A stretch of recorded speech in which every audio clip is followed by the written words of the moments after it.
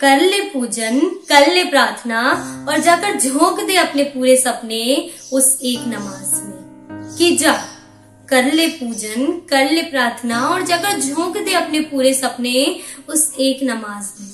पर सुन, तेरा रब भी जब बोलेगा, जब तू खुद खुलकर बोलेगी इस समाज में नमस्ते, मैं श्रेयसी नेमा, भोपाल से आज आपके सामने अपनी एक कविता लेकर प्रस्तुत हूँ।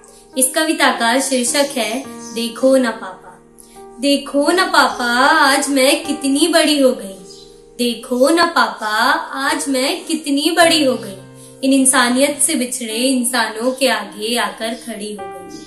जब आपके साथ थी, तब मैंने दुनिया देखी ही कहा थी। जब आपके साथ थी, तब मैंने दुनिया देखी ही कहा थी। मेरे लिए तो आपका दुलार, माँ का प्यार और मेरी गुड़िया ही पूरा जहाँ थी।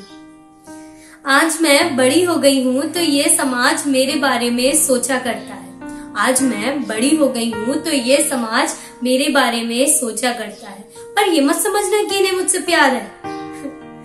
ये तो मेरे खुले पंखों से डरता इनमें से कुछ तो मुझे हमेशा टोका करते हैं। इनमें से कुछ तो मुझे हमेशा टोका करते हैं। लड़की रात बाहर थी, कल किसी लड़के के साथ थी। ऐसे ऐसे कह के मेरे और आपके विश्वास को जुड़ने से रोका करते हैं। इनमें से कुछ को तो अपने बिगड़ेपन पर नाज है। जी हाँ इनमें से कुछ को तो अपने बिगड़ेपन पर नाज है। अरे गालियाँ, बुरी सोच और कड़वाहट ही तो इनका अंदाज है। देखो ना क्या कहते हैं। तेरा पढ़ना लिखना भी क्या रंग लाएगा। तेरा पढ़ना लिखना भी क्या रंग लाएगा।